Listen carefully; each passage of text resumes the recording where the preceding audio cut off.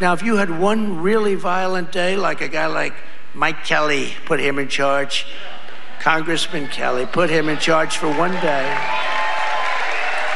Mike, would you say, he's right here, he's a great congressman. Would you say, Mike, that if you were in charge, you would say, oh, please, don't touch them, don't touch them, let them rob your store. Let All these stores go out of business, right? They don't pay rent, the, then the city doesn't have money. The whole, it's a chain of events that's so bad. One rough hour, and I mean real rough, the word will get out and it will end immediately. End immediately. You know, it'll end immediately. No, your ears aren't deceiving you. Donald Trump actually just recommended unadulterated violence against citizens in order to deter crime. And before he made that recommendation, he was specifically talking about theft, which seems very proportional. Now, to be fair, he did only endorse state sanctioned violence against civilians for one hour after initially saying that police should be able to do violence against us for a full day. So I think that's incredibly gracious of him. But nonetheless, the point that he's making, obviously, is that police should be able to do violence against people they're supposed to protect because that's how you're really going to deter crime. Now, I don't think that this is a serious policy proposal from Donald Trump, obviously, but the sentiment should still be alarming to all of us, nonetheless. I mean, this is a presidential candidate who could win who's talking about doing violence against civilians in a very cavalier way. And we're all just kind of like, yeah, that's Donald Trump. He always says dumb stuff like this. The fact that this type of rhetoric for political candidates has been normalized is really a dark sign of what's to come in America, I think, because let's say he loses this election. How long until a different fascist actually capitalizes on our political apathy? Like it's it's dangerous. We shouldn't just accept this. And it's disturbing because police can already steal from us thanks to civil asset forfeiture. Not to mention they have qualified immunity, which shields them from accountability if they violate our rights. Not to mention they commonly already kill people, mostly black and brown unarmed people with impunity. But Trump thinks that that's not enough. They need to be able to do more to deter crimes, right? And a lot of people are pointing out that this recommendation he's making sounds eerily familiar to the plot of the movie The Purge. And if you haven't seen the movie, let me just read the synopsis for you so that way you get a sense as to why people are making this comparison. Per Wikipedia, in 2014, a political party called the New Founding Fathers of America are voted into office following an economic collapse and pass a law sanctioning The Purge, an annual event wherein all crime, including murder, is legal and emergency services are unavailable for 12 hours. By 2020, 2022, the United States is said to have become virtually crime free, with legal unemployment rates having dropped to 1%. Now, I saw the movie, and if you watch the movie, the logic behind the purge is that if you let citizens get all the violence out of their systems, then society will function much more smoothly as a result. You just have to deal with that momentary violence, but then everything else is going to be copacetic and peachy keen. But Trump thinks that society is going to function better if we do a cop version of the purge, which is seemingly worse because he doesn't think that citizens should be able to fight back against police violence in this hypothetical police purge.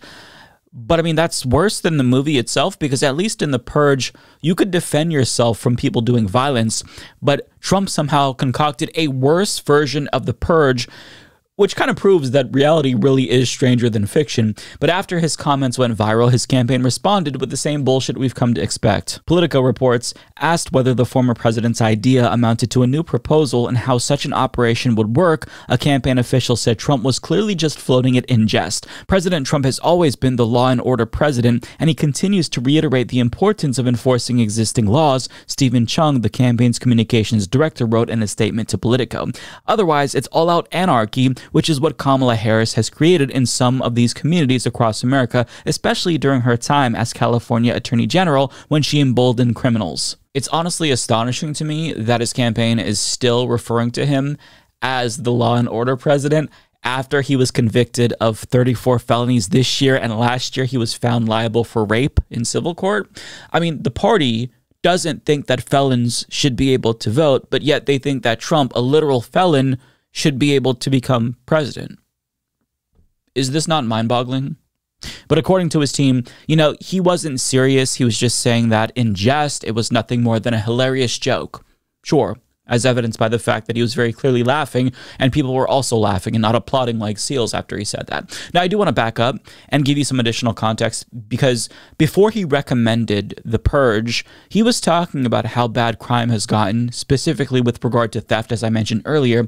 And he said that it's so bad that people are walking into stores with calculators and they're adding up what they're stealing so that way they don't surpass the threshold of what they can legally steal in California since radical Democrats effectively legalized crime, according to him. The problem is that that's bullshit. Politico continues Trump's comments came during a section of his speech in which he falsely suggested you could steal up to $950 worth of merchandise without consequence in California, a reference to Proposition 47, which reclassified some theft offenses from felonies to misdemeanors. Harris was California State Attorney General when California voters approved that ballot initiative but she remained neutral on the matter. The dollar threshold Trump referenced actually became law four years earlier, signed by then Governor Arnold Schwarzenegger, a Republican. So his claim is founded on bullshit, predictably so. But this extreme fear mongering over crime that we're seeing from him comes at a time when crime is on the decline. As NBC News reports, overall crime went down from 2022 to 2023, according to data from the FBI. This includes violent crime and property crime, which went down 3% and 2.4% respectively, not to mention murder and manslaughter, which decreased by 11.6%, which is the biggest single year decline in 20 years. Furthermore, burglary decreased by 7.6%, although to be fair, vehicle theft and recorded incidents of shoplifting did go up, although when it comes to theft, even though it went up, it's back to pre pandemic levels. But the overall trend is positive, yet Donald Trump wants you to think that you should be hysterical to the point where you're endorsing a purge for police officers, where they get to do wanton violence against all of us to deter people from doing crime. But ask yourself this crime is down overall, but recorded incidents of shoplifting, they've increased and they're now comparable to 2019 levels. There were about 150,000 more recorded incidents of theft in 2023 than there were in 2022. Does that really warrant unmitigated violence against American citizens? State sanctioned violence? Is that really a proportionate response to 150,000 more theft instances? Really? I mean, if you think that that is a reasonable take, then you need to have your head examined. And odds are, if we looked into your brain, we'd see a lot of propaganda from Donald Trump in local news. But if theft is such a concern, why doesn't Donald Trump talk about the most common form of theft in America? Wage theft. And the reason why he's not talking about that is uh, because, well, you know what? Let me just play a clip for you because he answered that question at the same rally. And you know, it's going to lead to great things. A lot of people don't give. I know a lot about overtime. I'd hated to give overtime. I hated it. I'd get other people, I shouldn't say this, but I'd get other people in, I wouldn't pay. I hated this is going to lead to a lot more. I think it's going to be economically positive, but I'm not even doing it for that reason. I'm doing it because, like, like the no tax on overtime. It's something so good. Funny he admits this because failure to pay overtime is one of the most common forms of wage theft in the country. So, ironically, at the same rally where he endorsed the purge for petty theft, he admitted to being a thief himself, but I don't think he was suggesting police violence against himself or fellow wage thieves. Of course not.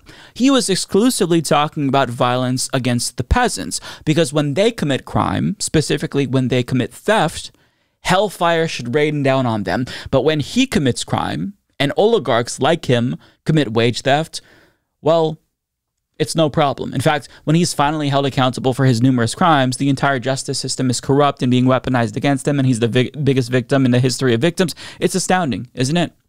You know, a 2017 study from the Economic Policy Institute found that employers steal billions of dollars worth from their employees in various forms of wage theft every single year. And that ranges from overtime pay theft to off the clock work to misclassifying workers as independent contractors to stiff them. But notice how Donald Trump only cares about theft when him and his rich friends are the victims. See, he can steal from you and it's funny, right? But if you steal from one of his rich friends, steal from a big box retail store, well, then he wants to do a purge. Isn't that funny? See, this right here is class warfare. And unfortunately, so many Americans have been brainwashed into thinking that this oligarch, Donald Trump, actually cares about them when he doesn't give a fuck about them. And he is using his biggest supporters and trying to hawk bullshit to them nonstop, selling them NFTs, cryptocurrency, Bibles, watches, sneakers, and they eat that shit up. they think he actually cares about them. This man somehow has working class appeal when he is the antithesis of a working class presidential candidate. He is the oligarch that is the reason why income and wealth inequality in this country is so bad, right? He cut his own taxes. That's his main accomplishment as president. Now, if you don't think that Donald Trump actually does have working class appeal, listen to some numbers provided by Harry Enten of CNN because it's real. This is union households. This is Democratic margin in presidential election. It ain't what it used to be. You know, you go back to 1992, Bill Clinton won that union vote by 30 points. Hillary Clinton only won it by 12 points back in 2016. That was the lowest mark for a Democrat since 1984, Mondale versus Reagan. But look at where Kamala Harris is today. She's only leading by nine points. That would be the worst Democratic performance in a generation, 10 points off the mark of Joe Biden, who, of course, won four years ago, was sort of that union guy, Union Joe, right? Won it by 19 points. She's 10 points off his mark and the worst in a generation if this, in fact, holds, Sarah. It is interesting to note that the difference between this and this, and Biden still won. Still won. But those numbers are significantly down. All right. Talk to me about manual labor, those folks who went to trade schools. Yeah, those folks who use their hands. I think a lot of people oftentimes conflate the union vote with those who use their hands. Mike Rowe, of course, has been arguing more people should go to trade schools, more people should get a vocational degree. Look at this margin. This, wow. to me, Oh boy, does this tell you about the state of our politics now versus back in the early 1990s? Margin among vocational and trade school grads in pre-election polling. Bill Clinton was leading that vote over George H.W. Bush by seven points. Look at where Donald Trump is today over Kamala Harris, a 31 point advantage. When I think people think of the working class, they think of people who use their hands. And we know that Donald Trump has been going after that vote, and he is in a very, very strong position, more so perhaps than any other bloc, the folks who go to trade school, vocational school, that has moved from being a core Democratic group to now being a core group of Donald Trump's massive amount of support among the working class. So, as Trump becomes even more openly antagonistic towards the working class and admits that he's engaging in wage theft and laughs with Elon Musk about him firing striking workers, his support among the working class and union households in particular is only increasing. Isn't that funny? The question is, why is this happening? Why aren't people waking up to the con that is Donald Trump. And I think that the most obvious answer is that Democrats are in power now, and Americans always blame the party in power whenever they're not feeling good about the economy. This isn't necessarily unique to the United States, this happens in other countries as well. But I mean, people are right to feel like things aren't that great right now. Sure, inflation has stabilized, but prices are still too high, and Americans have struggled to get by. But with that being said, Biden literally did pass the Inflation Reduction Act, and Harris is vowing to rein in corporate price gouging, and Republicans, including Donald Trump, are against that. But it doesn't matter though, because American voters don't vote based on policy, they vote based on vibes. Things feel bad right now, so they're blaming the party in power, and that party is Democrats. But I think that's only a part of it, right? Another part of it is that the high support Bill Clinton enjoyed from union households started to gradually decline in large part thanks to the neoliberalism that he ushered in within the Democratic Party. And all of that corporate neoliberalism has continued to plague the Democratic Party till this day. They continue to prioritize the profits of their corporate contributors over their own fucking constituents, and that's bad. Now, the same obviously is true for Republicans, but they were always the party of big business, so nobody expected them to be the party of the working class. Democrats were always expected to do better since they market themselves as the party of the working class right? So it's a problem. And I'd say that the surge in support Trump is seeing among working class Americans, as well as non college educated folks, is part self inflicted by Democrats and also part out of their control. But I don't think that that should really make us feel any better because a huge number of Americans are choosing to vote for Donald Trump in spite of so many things, in spite of his racism, in spite of the insurrection, in spite of the threat that he poses to democracy, in spite of the class warfare that's in front of their faces. I mean, again, this man's only major policy achievement was to cut the taxes for himself and his rich friends, but people ironically are putting aside all of that and they're voting for Trump out of self interest when literally voting for him isn't in their best interest unless they're millionaires. And it's embarrassing, because it speaks to how short our collective memory is as a country. But I do understand why people are apprehensive about voting for Democrats because, as a leftist myself, I have an endless amount of critiques about the Democratic Party. But being dissatisfied with the Democratic Party doesn't automatically make Trump and the Republicans a better or appealing alternative. You don't drink bleach if your water tastes a little bit weird or you find a speck of dirt in it, right? You try to fix the problem. You get a water filter or you figure out why the water is contaminated.